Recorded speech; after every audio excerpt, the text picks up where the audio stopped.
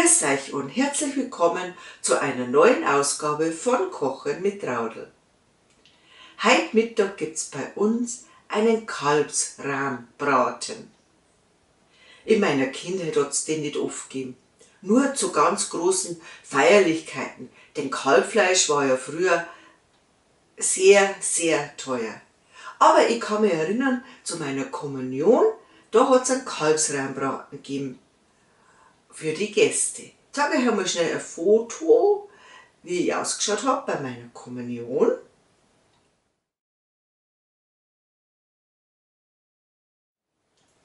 Und wie ich gerade gesagt habe, für meine Gäste hat es einen Kalbsrahmbraten gegeben. Aber ich habe mir ein Schnitzel gewünscht. Ich habe dann ein Kalbsschnitzel gekriegt, weil meine Mama gemacht hat, da tut es mir ganz besonders was Gutes. Aber das Kalbschnitzel, das war irgendwie mh, hm, so flachsig und so. Ja, mit mir haben sie keine Freude nicht gehabt mit der Esserei.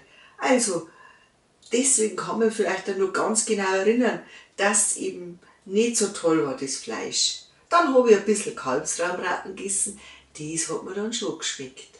Und meine Mama, die hat dann immer so eine Schwammerlsauce dazu gemacht. Und deswegen habe jetzt ich heute auch mein Rezept vom Schubeck ausgesucht, denn ich hätte auch ähm, aus Ich helfe dir kochen, die hat auch ein gutes Rezept drinnen für einen Kalbsraumbraten, aber da wieder so ein bisschen so Schwammerlsauce dazu gemacht. Und das sind halt meine Kindheitserinnerungen. Und übrigens, von dem Geld, was ich da gekriegt habe zur Kommunion, da haben wir dann wahrhaftig ein ganz neues Radl kaufen dürfen. Ganz toll damals.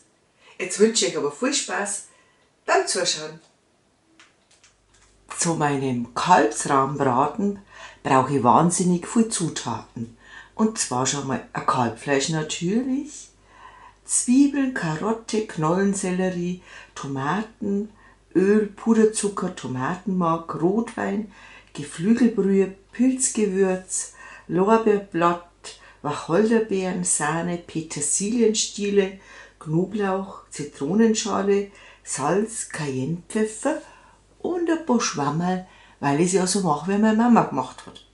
Vielleicht nicht ganz so, denn meine Mama hat bestimmt nicht so viele Zutaten dazu braucht. Da habe ich jetzt eins von den Kochbüchern meiner Mama, und zwar das Schulkochbuch von Dr. Oetker. Da steht der Kalbsbraten drinnen. Und schaut mal her, ganz, ganz wenig Zutaten. Die haben ja nicht einmal ein Wurzelgemüse damals drin gehabt. Hm. Aber Augustin war dabei, denn der Dr. Oetker wollte seine Sachen verkaufen. Und da haben wir den Vergleich zu Ich helfe dir kochen. Da steht schon bei Weitem mehr drinnen, aber nicht ganz so viel als wir ihm beim Schubeck. Aber ich glaube, was wir brauchen, ist eigentlich viel Zeit. Viel Zeit, damit der Braten schön saftig bleibt und nicht zu viel Hitze kriegt. Denn früher hat man schon sehr auf Hitze geschaut. Da ist der Ofen vorgeheizt worden oder geheizt worden mit 220 Grad. Und dann war der natürlich schon in eineinhalb oder zwei Stunden fertig. Aber dafür ist ein bisschen Drucker gewesen. Und das sollte unser Braten nicht werden. Den lassen wir Zeit, deswegen rede ich jetzt ein bisschen stark, denn es ist nur in der Früh und mein Mann schläft noch, denn äh, vier Stunden davor müssen wir anfangen mit Vorbereiten, denn drei Stunden muss der im Rohr drinnen sein. Anfangen tue ich damit, dass ich das Gemüse in Würfel schneide.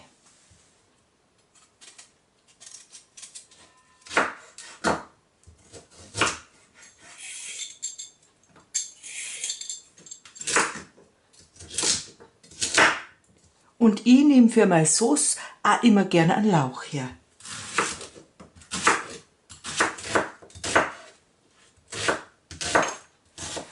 Die Tomaten muss ich achten.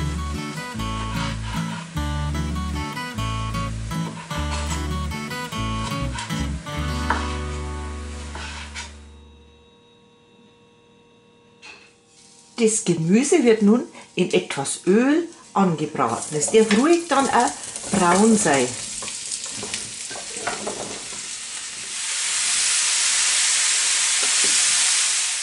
Während das Gemüse jetzt da brät, schaue ich mal, dass das Fleisch ein bisschen schöner ausschaut. Das war nämlich im Angebot. Dadurch ist mir die Idee erst richtig gekommen, dass ich mal einen Kalbsbraten machen konnte. Aber Ausschau tut es jetzt nicht besonders.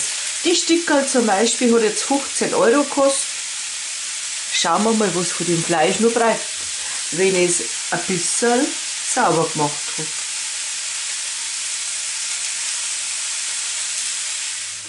So ein bisschen besser schaut es jetzt auf alle Fälle aus.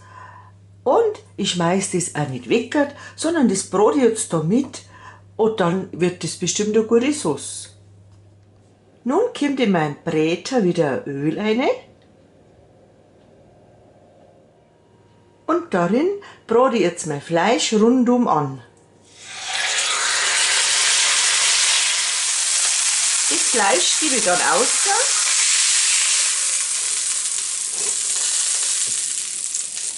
Und da gebe ich jetzt meine Abschnitte noch rein und die brate ich auch noch schnell an. Das Fett, das noch drinnen ist, das tupfe ich ein bisschen mit einem Küchentuch raus und gebe den Puderzucker rein. Die Pfanne oder der, der Topf darf jetzt nicht ganz fürchterlich heiß sein, denn sonst verbrennt uns der Puderzucker und dann schmeckt es bitter. Also es sollte nur leicht karamellisieren. Dann kommt da ungefähr ein Esslöffel Tomatenmark dazu. Und da aber auch nicht zu viel nehmen, denn es soll ja keine Tomatensauce werden. Es soll ja nur ein bisschen tomatisiert werden. Mit einem Drittel ungefähr vom Rotwein ablöschen.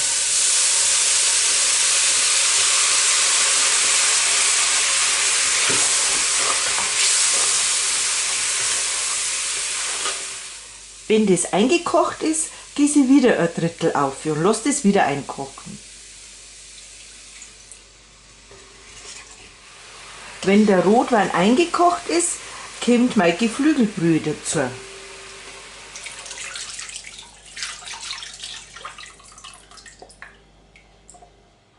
Und da drauf das Gemüse.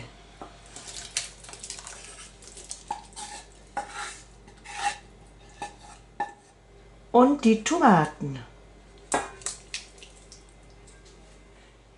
Meine Fleischabschnitte, ganz oben drauf mein Fleisch. Da kommt jetzt der Deckel drauf. Der Ofen ist auf 150 Grad Umluft vorgeheizt und das Fleisch kommt jetzt für drei Stunden hinein. Ab und zu mal nachschauen, ob die Soße verdampft ist oder sonst irgendwas, vielleicht einmal umdrehen. Ansonsten braucht es jetzt zweieinhalb Stunden nichts machen damit.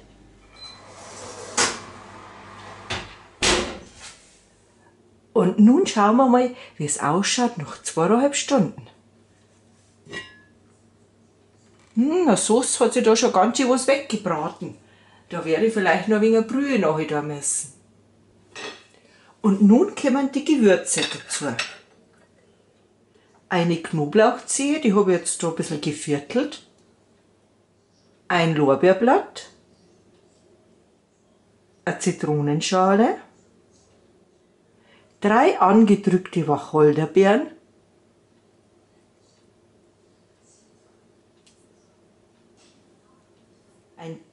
einen Teelöffel von dem Pilzgewürz 100 Milliliter Schlagsahne,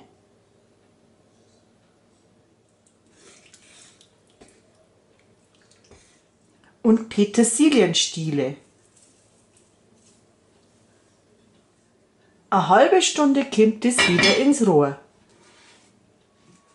Drei Stunden hat jetzt das Fleisch gebraten und nun müssen wir uns um die Soße kümmern. Das Fleisch gebe ich jetzt in eine Alufolie und ein bisschen nur ins Rohr, damit ich jetzt Zeit habe für die Sauce. Soße gebe ich jetzt durch ein Sieb in einen anderen Topf. Soße widmen. Meine Soße schmeckt jetzt schon ganz gut, aber es fehlt natürlich nur ein bisschen Power. Das heißt, eine kleine Prise Cayennepfeffer, ein Salz, ein Pfeffer. Schmecken tut es jetzt schon ganz gut, aber wie ihr hier seht, das ist jetzt noch keine Sauce, sondern das ist eine Suppe.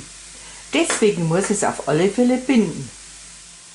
Und wie ihr euch am Anfang erzählt habt, da von dem alten Kochbuch, vom Dr. Oetker Kochbuch, wo die Soße mit Gustin gebunden wird, das müssen wir jetzt auch machen. Und zwar habe ich da eben eine Speisestärke. Das wird in kaltem Wasser angerührt, unbedingt in kaltem Wasser, denn sonst wird, wird das klümpelig. Und wenn die Soße aufkocht, wird das drunter gerührt. Vielleicht am Anfang noch nicht alles, weil nicht, dass das dann so ein, ein Mus wird statt eine Sauce. Also ein Teil rühre ich jetzt einmal unter. Und das lasse ich gut durchkochen jetzt noch. Wie ihr seht, es ist jetzt zwar schon ein wenig dicker, aber ich glaube, ich brauche den Rest von dem Ding auch noch.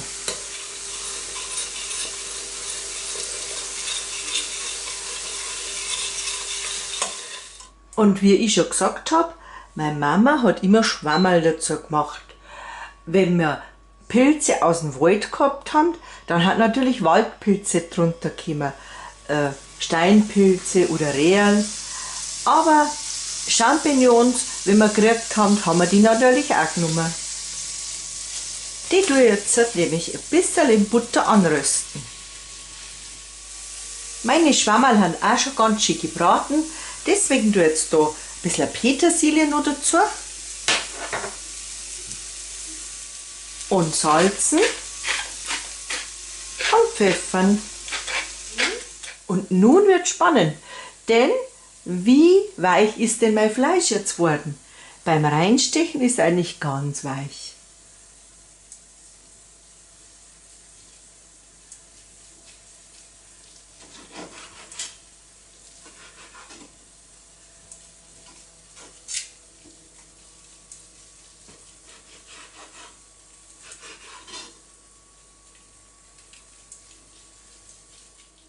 Und so können wir anrichten.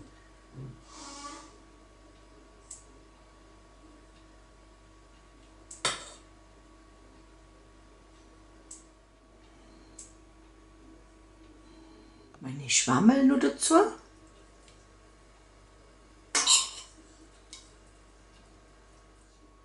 Ein Knödelchen.